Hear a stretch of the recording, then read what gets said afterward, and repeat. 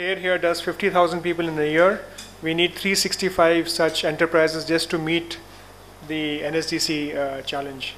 And then what are we trying to do, uh, making the youth uh, the focus of India's skill development mission going forward?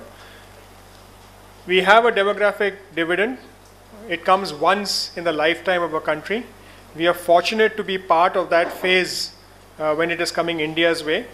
If we don't find productive work for these people, uh, this dividend might have a totally different connotation as we go forward.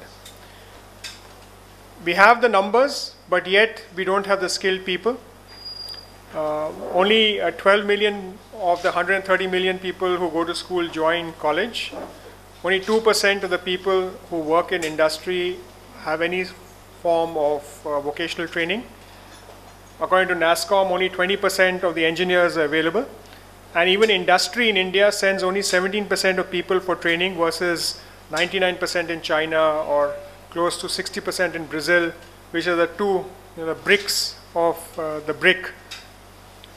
What is interesting if you go forward, uh, if you look at the 20 sectors that were given for to NSDC uh, to look at, these uh, 20 sectors between 2008 and 2022 require a various number of people.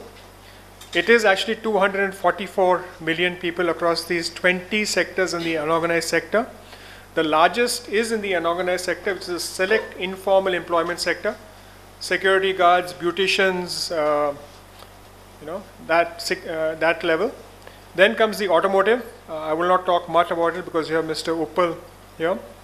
And then comes construction, building and construction. Again, Mr. Kher, you do a lot of work uh, in that uh, area. You know, so the next largest are uh, uh transportation, logistics, and warehouse, and textiles and clothing, 26 million. So if you want to skill 500 million or 150 million people by 2022, you need to have a skill training capacity of at least 40 to 50 million. The challenge is that India only has currently 5 million, or when this study was done in 2008-9, 4.3 million as a skill capacity in all the government departments and in the private sector. So you got to take this to 40 million or 50 million now because we lost a few years. You can look at it as 80,000 crores required every year to skill people. Uh, so government and other institutions need to find this money and give it to people to fund. Or you could say this is 80,000 crore or a 20 billion dollar opportunity for private sector to skill people and get them placed. Getting money for placement is not a new phenomenon. It is an existing practice which works in industry. Uh, many people hire a consulting company or a placement firm to hire people and they're willing to pay a one month salary as placement fee.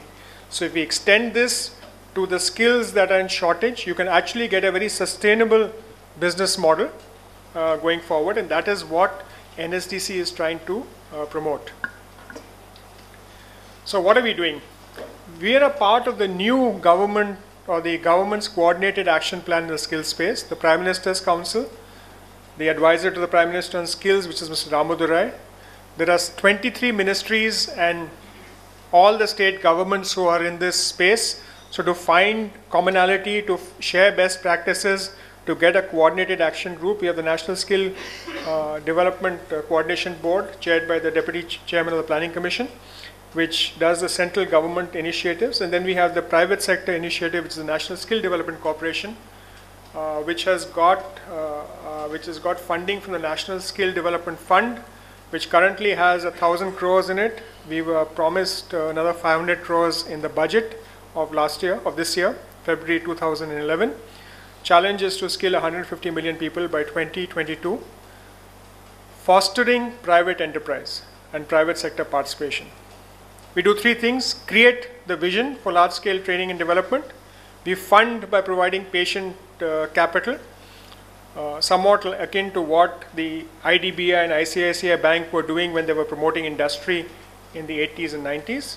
And then we create an enabling and supporting uh, system, sector skill councils, train the trainer information system. I'll talk about it in a minute. So we're not just funding agencies, we have a larger role. We have a current portfolio of 33 companies, from startups to large established corporates, startups in unrelated business, corporates like Kalens in unrelated business, training providers and corporates which are in the, in the, in the training business, and NGOs, you see Pratham uh, there, uh, you see Empower, which is a joint venture with SAT uh, there, and you have Global India Foundation and others which are, or the Inter International Association of Human Values, uh, which are there, and you have ILFS Education. We have a joint venture with Everonn Education, it's got nothing to do with the Everonn Education uh, which is there, it is a joint venture, and the Centum Work Skills India, which is a joint venture with Centum there. So far, 33 training organizations, six sector skill councils. I'll come to sector skill councils in a minute. The financial commitment of 1,022 crores. Recall 5 million current training capacity. These 33 would add 11.3 million to the training capacity over the next five to six years. And these projects would do about 57 million people uh, going forward. Our target is 150 million. We have a 10-year plan going forward. Uh, each of our partners that we fund have to submit a 10-year business plan. We fund 75% of the project cost, typically either equity or loan. Maximum that you get as a grant is 10% of the project cost. We do pilots uh, which are different when we, we're looking at a sustainability of a, of a program. We look at pilots which you can give uh, varying, uh, uh you know, uh, combinations of uh, different interest rates. 25% um, of the cost of the project cost has to be bought by the entrepreneur. We do funding based on annual benchmarks and annual milestones that are there. There will be in 311 districts by 2012. We had 160 districts till March 2011.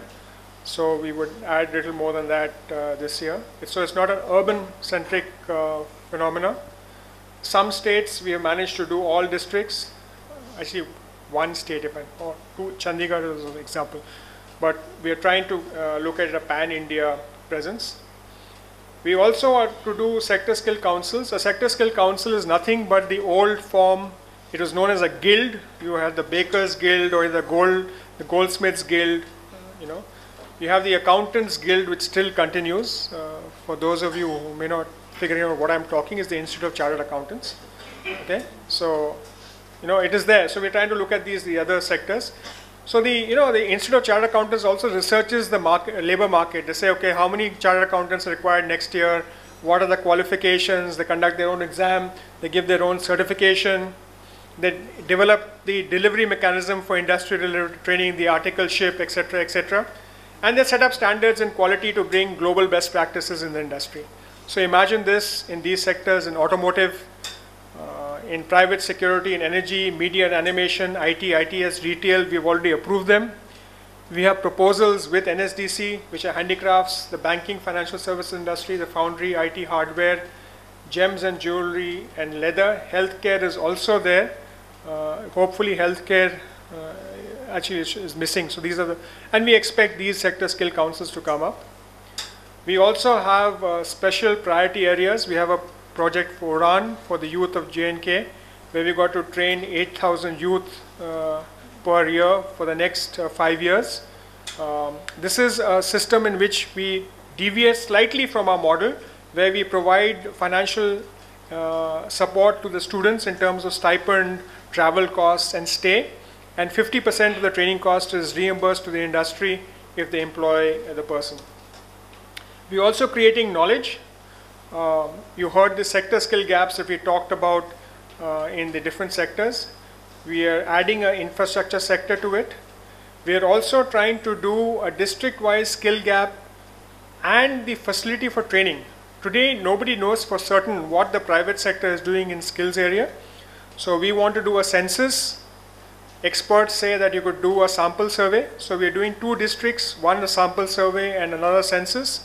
Then we'll flip it around to see what the divergence is. We are also doing state level skill gap studies for the Northeast and Orissa. 10 other states are on the anvil.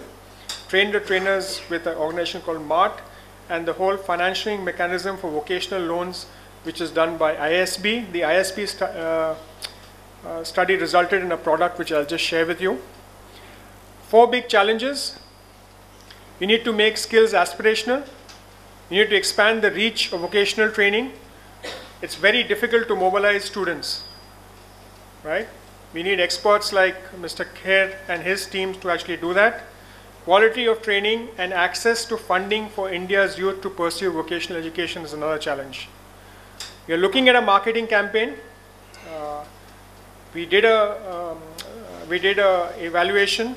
Uh, we are working at one agency to do this. Hopefully, this should be launched uh, soon after it goes through an approval uh, process. We are also taking 16 participants to the World Skills Olympics. Uh, it's not worlds, sorry for the typo, but uh, they will be participating in trades such as cooking, pastry making, uh, to media and IT and mechatronics. Uh, this is from the 5th to the 8th in London. The plumber is from a community college in Ongole.